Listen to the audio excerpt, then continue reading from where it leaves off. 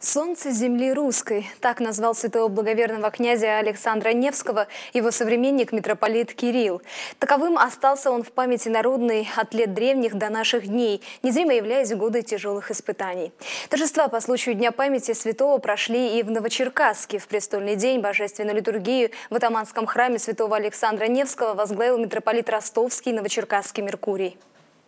В Александро-Невском храме столицы Донского казачества особые торжества. Богослужение архиерейским чином, почетный казачий караул, многочисленные прихожане. Память святого благоверного князя Александра Невского совершается несколько раз в год. Каждый раз престольный праздник собирает здесь верующих, в числе которых как местные жители, так и многочисленные паломники.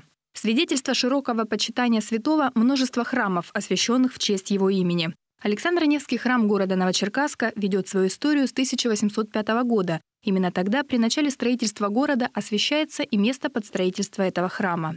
С течением времени менялось и место, отведенное под строительство, и сам впоследствии возведенный храм претерпевал множество реставраций.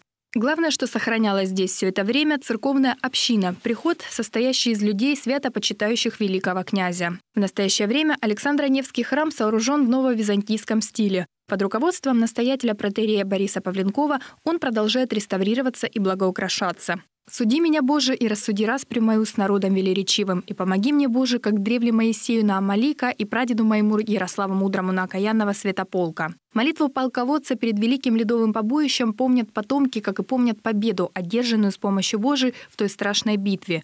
Вот так, с верой в сердце и молитвой на устах, Александр Невский шел в каждый свой бой, чтобы защитить свое Отечество.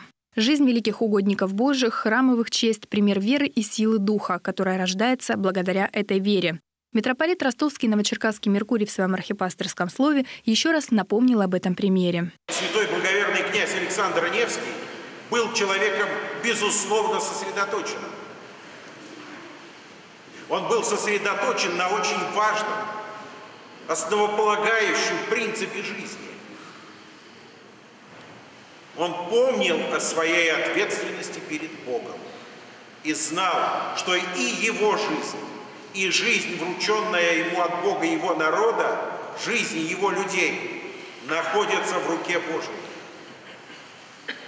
И потому основу своей жизни князь полагал в сохранении веры, в целостности этой веры, потому что знал, что на этой вере можно создать и государство, и ввести народ вратами в Царство Божие.